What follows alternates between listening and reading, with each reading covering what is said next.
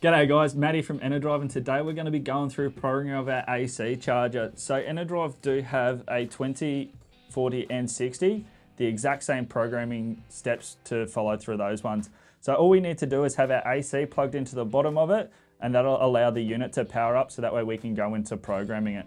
So all we need to do is just press and hold the menu button till the battery type start flashing at the top so at the moment it's set on AGM. What we're gonna do is just use the select button to go across to lithium and we'll just press the set button to go into that one. So at the moment our voltage is set to 14 volts. So to suit our lithium battery, we'll wanna just up that to 14.4 just using the select button. So once we're on 14.4, we'll just press the set button to go into there and then we can adjust our current output. So to suit our lithium battery that we're going to be charging, we'll just up that one to 40 amps. And then once we're on there, we'll just press the set button to lock that one in. And then we have our L setting here. So our L setting is to transition the charger into float mode that'll support the loads that we have.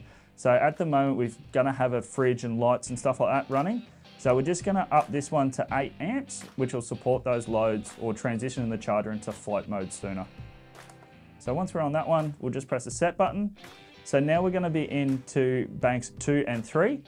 So for this one, it's perfectly designed for motorhomes and boats applications to be able to charge the start batteries or even the generator batteries. So those chemistries are AGM. So we'll just press the set button to go into that one.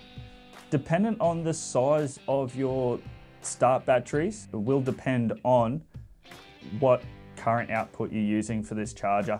So it's perfectly suited to go up to 40 for those batteries. then once we're on that one, we'll just press the set button again to lock that in.